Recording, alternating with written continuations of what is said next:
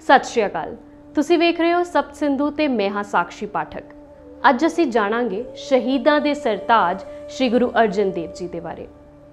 ਵਿਸ਼ਵ ਪੱਧਰ ਤੇ ਭਾਰਤ ਨੂੰ ਇੱਕ ਅਜਿਹੇ ਰਾਸ਼ਟਰ ਦਾ ਦਰਜਾ ਪ੍ਰਾਪਤ ਹੈ, ਜਿਸ ਵਿੱਚ ਅਨੇਕ ਪ੍ਰਕਾਰ ਦੀਆਂ ਸਮਾਜਿਕ, ਆਰਥਿਕ ਤੇ ਧਾਰਮਿਕ ਭਿੰਨਤਾਵਾਂ ਹੋਣ ਦੇ ਬਾਵਜੂਦ ਵੀ ਇੱਥੋਂ ਦੇ ਲੋਕਾਂ ਵਿੱਚ ਆਪਸੀ ਸਹਿਰਦਤਾ ਦੀ ਭਾਵਨਾ ਕੁੱਟ-ਕੁੱਟ ਕੇ ਭਰੀ ਹੋਈ ਹੈ।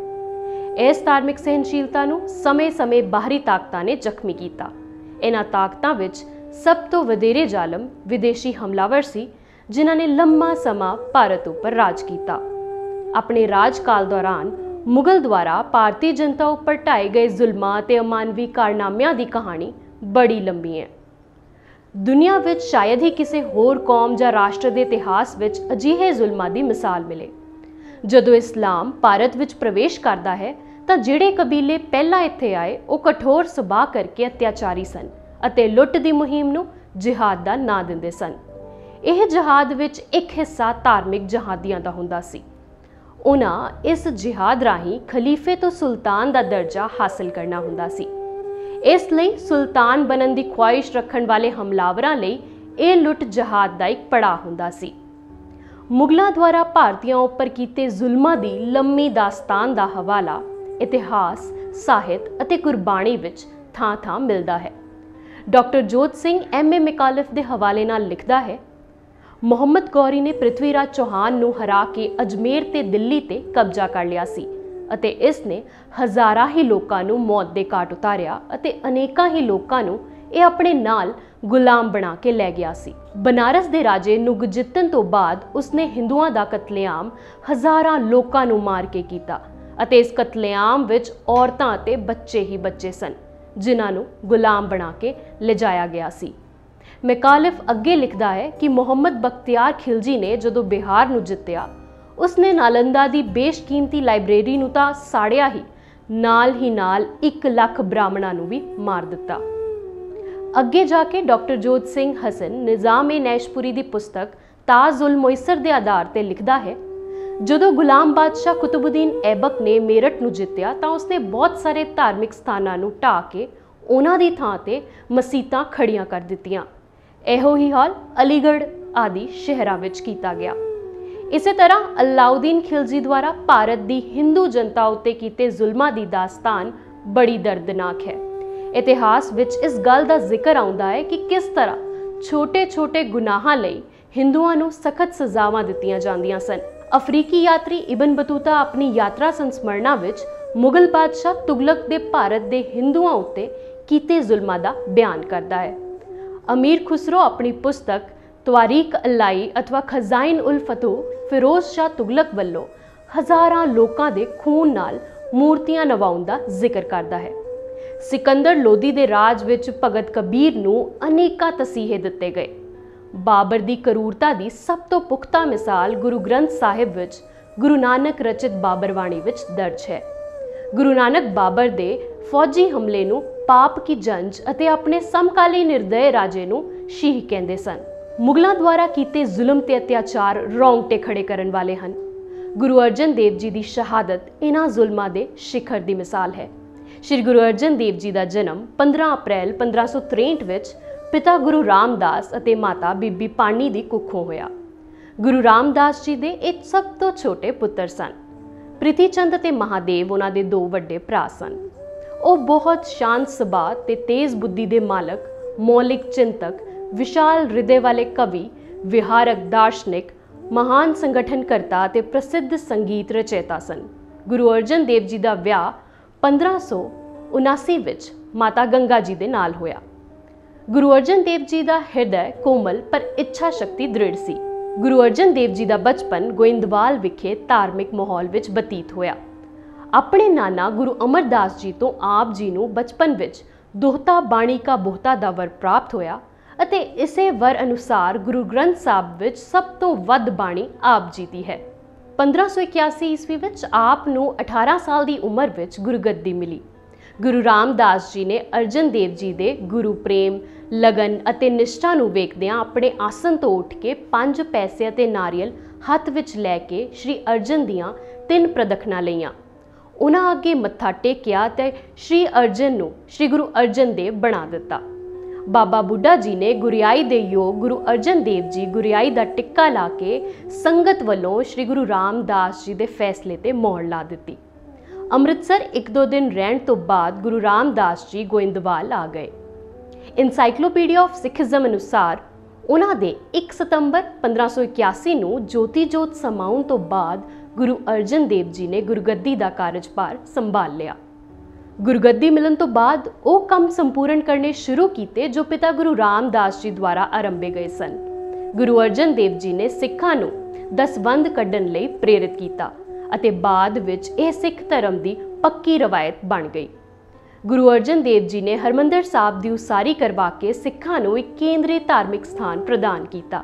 ਇਸ ਤੋਂ ਇਲਾਵਾ ਆਪ ਨੇ ਕਈ ਨਵੇਂ ਨਗਰ ਵਸਾਏ, ਜਿਨ੍ਹਾਂ ਵਿੱਚ ਤਰਨਤਾਰਨ ਛੇਰਟਾ ਹਰਗੋਬਿੰਦਪੁਰਾ, ਕਰਤਾਰਪੁਰ ਸਾਹਿਬ ਪ੍ਰਮੁੱਖ ਹਨ। ਆਪ ਜੀ ਨੇ ਸਮਾਜਿਕ ਭਲਾਈ ਦੇ ਅਨੇਕਾਂ ਕਾਰਜ ਕੀਤੇ, ਜਿਨ੍ਹਾਂ ਵਿੱਚ ਕੁਸ਼ਟ ਰੋਗੀਆਂ ਲਈ ਦਵਾਖਾਨਾ ਖੋਲ੍ਹਣਾ, ਪਿੰਡਾਂ ਵਿੱਚ ਖੂਹਾਂ ਦਾ ਨਿਰਮਾਣ ਆਦਿ ਜ਼ਿਕਰਯੋਗ ਹਨ। ਆਪ ਨੇ 1588 ਈਸਵੀ ਵਿੱਚ ਅੰਮ੍ਰਿਤਸਰ ਵਿਖੇ ਸੰਤੋਖਸਰ ਤਲ ਦੀ ਖੁਦਾਈ ਕਰਾਈ। ਅੰਮ੍ਰਿਤਸਰ ਵਿਖੇ ਦਰਬਾਰ ਸਾਹਿਬ ਦੇ ਸਰੋਵਰ ਨੂੰ ਸੰਪੂਰਨ ਕਰਾਇਆ ਅਤੇ ਇਸ ਵਿੱਚ ਹਰਮੰਦਰ ਸਾਹਿਬ ਦੀ ਨੀਂਹ ਰੱਖੀ। ਧਾਰਮਿਕ ਸਹਿਰਦਤਾ ਦਾ ਸਬੂਤ ਦਿੰਦਿਆਂ ਹਰਮੰਦਰ ਸਾਹਿਬ ਦੀ ਨੀਂਹ ਮੁਸਲਮਾਨ ਫਕੀਰ ਸਾਈਂ ਮੀਆਂ ਮੀਰ ਕੋਲੋਂ ਰਖਵਾਈ ਅਤੇ ਇਸ ਵਰਣ ਮੰਦਰ ਦੇ ਚਾਰ ਦਿਸ਼ਾਵਾਂ ਵੱਲ ਚਾਰ ਦਰਵਾਜ਼ੇ ਰੱਖ ਕੇ ਇਸ ਪਾਵਨ ਸਥਾਨ ਨੂੰ ਸਭ ਧਰਮਾਂ, ਜਾਤਾਂ ਤੇ ਫਿਰਕਿਆਂ ਦੇ ਲੋਕਾਂ ਲਈ ਖੋਲ ਦਿੱਤਾ। ਗੁਰੂ ਅਰਜਨ ਦੇਵ ਜੀ ਪੰਜਾਬੀ, ਹਿੰਦੀ, ਸੰਸਕ੍ਰਿਤ ਅਤੇ ਫਾਰਸੀ ਭਾਸ਼ਾ ਦੇ ਵਿਦਵਾਨ ਸਨ। ਇਹਨਾਂ ਤੋਂ ਇਲਾਵਾ ਆਪ ਕਈ ਉਪ ਭਾਸ਼ਾਵਾਂ ਦੇ ਵੀ ਗਿਆਤਾ ਸਨ। ਵੇਦਾਂ, ਸ਼ਾਸਤਰਾਂ ਨੂੰ ਵੀ ਆਪ ਨੇ ਕੋਖਿਆ ਪੜਚੋਲਿਆ ਸੀ। ਗੁਰੂ ਅਰਜਨ ਦੇਵ ਜੀ ਗੁਰਮਤ ਕਾਵਤਾਰਾ ਦੇ ਸਿਰਮੂਰ ਸ਼ਾਇਰ ਹਨ। ਉਹਨਾਂ ਦੀ ਸਾਹਿਤਕ ਪ੍ਰਤਿਭਾ ਬਹੁਪੱਖੀ ਹੈ।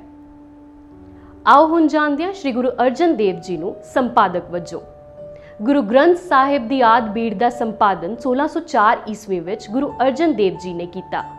ਇਸ ਗ੍ਰੰਥ ਸਾਹਿਬ ਦਾ ਸੰਪਾਦਨ ਮੱਧਕਾਲੀ ਭਾਰਤ ਦੀ ਅਦੁੱਤੀ ਟੈਕਸਟ ਦੇ ਰੂਪ ਵਿੱਚ ਸਾਡੇ ਸਾਹਮਣੇ ਹੈ। ਇਸ ਗ੍ਰੰਥ ਵਿੱਚ 6 ਗੁਰੂ ਸਾਹਿਬਾਨ ਅਤੇ 15 ਭਗਤ 11 ਭੱਟ ਅਤੇ ਗੁਰੂ ਘਰ ਦੇ ਨਿਕਟ ਪ੍ਰੇਮੀਆਂ ਸਮੇਤ 36 ਮਹਾਪੁਰਖਾਂ ਦੀ ਬਾਣੀ ਦਰਜ ਹੈ।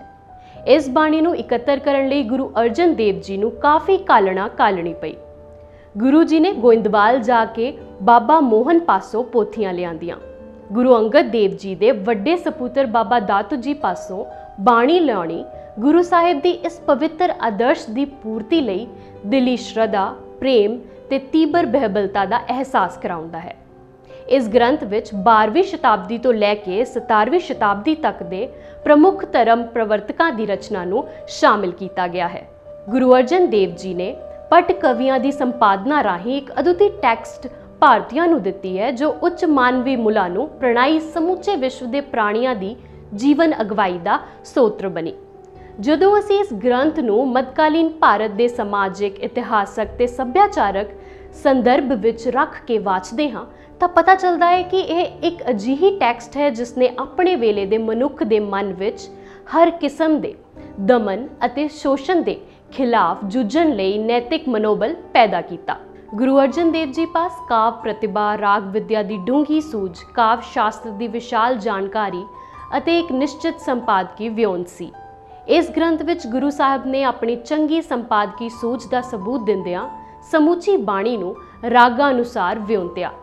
ਗੁਰੂ ਅਰਜਨ ਦੇਵ ਜੀ ਦੁਆਰਾ ਕੀਤੀ ਗਈ ਆਦ ਗ੍ਰੰਥ ਦੀ ਸੰਪਾਦਨਾ ਭਾਰਤੀ ਸ਼ਾਸਤਰੀ ਰਾਗਾਂ ਅਤੇ ਸਨਾਤਨੀ ਸੰਗੀਤ ਪਰੰਪਰਾ ਦੀ ਦ੍ਰਿਸ਼ਟੀ ਤੋਂ ਬੜੀ ਮਹੱਤਵਪੂਰਨ ਹੈ। ਸੰਪਾਦਕ ਦੀ ਇਸ ਦ੍ਰਿਸ਼ਟੀ ਨੂੰ ਜੇ ਜ਼ਰਾ ਧਿਆਨ ਨਾਲ ਵੇਖਿਆ ਜਾਵੇ ਤਾਂ ਪਤਾ ਚੱਲਦਾ ਹੈ ਕਿ ਰਾਗਾਂ ਦੀ ਤਰਤੀਬ, ਗਾਇਨ ਵਿਦਿਆ ਤੇ ਗਾਇਨ ਸ਼ੈਲੀਆਂ ਇੱਕ ਵਿਸ਼ੇਸ਼ ਆਦਰਸ਼ ਨੂੰ ਮੁੱਖ ਰੱਖ ਕੇ ਅੰਗੀਕਾਰ ਕੀਤੀਆਂ ਗਈਆਂ ਹਨ। ਸਾਰੀ ਬਾਣੀ ਰਾਗਾਂ ਅਨੁਸਾਰ ਢਾਲੀ ਗਈ ਹੈ ਅਤੇ ਹਰ ਰਾਗ ਵਿੱਚ ਰਚਨਾ ਦੀ ਤਰਤੀਬ ਲਗਭਗ ਇੱਕੋ ਜਿਹੀ ਹੈ। ਪਹਿਲਾਂ ਸ਼ਬਦ ਆਉਂਦੇ ਹਨ, ਫਿਰ ਅਸ਼ਟਪਦੀਆਂ ਛੰਤ ਲੰਮੀਆਂ ਕਵਿਤਾਵਾਂ ਅਤੇ ਅੰਤ ਵਿੱਚ ਭਗਤਾਂ ਦੀ ਬਾਣੀ ਅਤੇ ਫੁਟਕਲ ਰਚਨਾਵਾਂ। ਹਰ ਇੱਕ ਰਾਗ ਵਿੱਚ ਅੱਗੋ ਕਰਾਂ ਅਤੇ ਧੁਨੀਆਂ ਦੀ ਵੰਡ ਹੈ। ਬਾਣੀਕਾਰਾਂ ਦੀ ਬਾਣੀ ਨੂੰ ਵਖਰਿਆਉਣ ਲਈ ਗੁਰੂ ਸਾਹਿਬਾਨ ਵਿੱਚ ਮੱਲਾ ਪਹਿਲਾ, ਦੂਜਾ, ਤੀਜਾ ਆਦਿ ਵਰਤੇ ਗਏ ਹਨ। ਹਰ ਇੱਕ ਰਾਗ ਵਿੱਚ ਗੁਰੂ ਨਾਨਕ ਦੀ ਬਾਣੀ ਸਭ ਤੋਂ ਪਹਿਲਾ ਹੈ। ਫਿਰ ਗੁਰੂ ਅੰਗਦ, ਗੁਰੂ ਅਮਰਦਾਸ, ਗੁਰੂ ਰਾਮਦਾਸ, ਗੁਰੂ ਅਰਜਨ ਦੇਵ ਜੀ ਤੇ ਗੁਰੂ ਤੇਗ ਬਹਾਦਰ ਜੀ ਦੀ ਬਾਣੀ ਸ਼ਾਮਲ ਹੈ। ਇਸ ਤੋਂ ਬਾਅਦ ਭਗਤਾਂ ਦੀਆਂ ਰਚਨਾਵਾਂ ਆਉਂਦੀਆਂ ਹਨ। ਜਿੱਥੇ ਲੇਖਕ ਦਾ ਨਾਂ ਨਹੀਂ, ਉੱਥੇ ਅੰਕਾਂ ਦੇ ਆਧਾਰ ਤੇ ਪਤਾ ਚੱਲਦਾ ਹੈ ਕਿ ਰਚਨਾ ਕਿਸੇ ਹੋਰ ਦੀ ਸ਼ੁਰੂ ਹੋ ਗਈ ਹੈ। ਗੁਰੂ ਗ੍ਰੰਥ ਸਾਹਿਬ ਵਿੱਚ 31 ਰਾਗ ਰਾਗਣੀਆਂ ਦਾ ਪ੍ਰਯੋਗ ਹੋਇਆ ਮਿਲਦਾ ਹੈ। ਸਭ ਤੋਂ ਵੱਧ ਰਾਗਾਂ ਵਿੱਚ ਬਾਣੀ ਗੁਰੂ ਅਰਜਨ ਦੇਵ ਜੀ ਨੇ ਲਿਖੀ। ਇਸ ਗ੍ਰੰਥ ਵਿੱਚ ਉਹਨਾਂ ਰਾਗਾਂ ਨੂੰ ਬਹੁਤੀ ਥਾਂ ਨਹੀਂ ਦਿੱਤੀ ਗਈ ਜੋ ਅਤੀ ਖੁਸ਼ੀ ਅਤੇ ਗਮੀ ਦੇ ਰਾਗ ਹਨ, ਜਿਵੇਂ ਹੰਡੋਲ ਜਾਂ ਦੀਪਕ ਰਾਗ। ਇਸ ਗ੍ਰੰਥ ਵਿੱਚ ਜਿਨ੍ਹਾਂ ਕਾਵ ਭੇਦਾਂ ਦੀ ਵਰਤੋਂ ਹੋਈ ਹੈ, ਉਹਨਾਂ ਵਿੱਚ ਬਾਰਮਾ ਆਰਤੀ ਕੋੜੀਆਂ ਅਲਾਉਣੀਆਂ, ਸਤਵਾਰਾ, ਛੰਦ, ਪੌੜੀ, ਕਾਫੀ 35 ਅੱਖਰੀ ਸ਼ਬਦ ਆਦਿ ਪ੍ਰਮੁੱਖ ਹਨ। ਆਓ ਹੁਣ ਗੱਲ ਕਰਦੇ ਹਾਂ ਸ੍ਰੀ ਗੁਰੂ ਅਰਜਨ ਦੇਵ ਜੀ ਦੀ ਸ਼ਹਾਦਤ ਦੇ ਬਾਰੇ, ਜੋ ਕਿ ਸਿੱਖ ਇਤਿਹਾਸ ਦੀ ਇੱਕ ਮਹੱਤਵਪੂਰਨ ਘਟਨਾ ਹੈ, ਜਿਸ ਨੇ ਹਿੰਦੁਸਤਾਨ ਵਿੱਚ ਇੱਕ ਵਿਲੱਖਣ ਸ਼ਹੀਦੀ ਪਰੰਪਰਾ ਨੂੰ ਜਨਮ ਦਿੱਤਾ, ਜਿਹੜੀ ਅੱਗੋਂ ਗੁਰੂ ਤੇਗ ਬਹਾਦਰ ਦੀ ਸ਼ਹਾਦਤ ਤੋਂ ਹੁੰਦੀ ਹੈ। ਦਸਮ ਪਾਤਸ਼ਾਹ ਦੇ ਚਾਰ ਸਾਹਿਬਜ਼ਾਦਿਆਂ ਦੇ ਬਾਅਦ ਵਿੱਚ ਸਿੱਖ ਰਾਜ ਦੀ ਸਥਾਪਨਾ ਤੱਕ ਅਨੇਕ ਸਿੰਘਾਂ ਸਿੰਘਣੀਆਂ ਦੀ ਵਿਲੱਖਣ ਸ਼ਹਾਦਤ ਦਾ ਆਧਾਰ ਬਣਦੀ ਹੈ। ਗੁਰੂ ਅਰਜਨ ਦੇਵ ਜੀ ਦਾ ਜੀਵਨ, ਉਹਨਾਂ ਦੇ ਕੰਮ ਅਤੇ ਸ਼ਹਾਦਤ ਗੁਰੂ ਨਾਨਕ ਵੱਲੋਂ ਦਰਸਾਏ ਆਦਰਸ਼ਾਂ ਦੀ ਪੂਰਨ ਮਿਸਾਲ ਹੈ। ਮਾਨਵਤਾ ਦੇ ਉੱਚ ਆਦਰਸ਼ਾਂ ਤੇ ਮਾਨਵੀ ਮੁੱਲਾਂ ਦੀ ਰੱਖਿਆ ਲਈ ਕਿਸੇ ਸਿੱਖ ਦੀ ਇਹ ਪਹਿਲੀ ਸ਼ਹਾਦਤ ਸੀ। ਇਸੇ ਲਈ ਉਹਨਾਂ ਨੂੰ ਸ਼ਹੀਦਾਂ ਦੇ ਸਰਤਾਜ ਕਿਹਾ ਜਾਂਦਾ ਹੈ।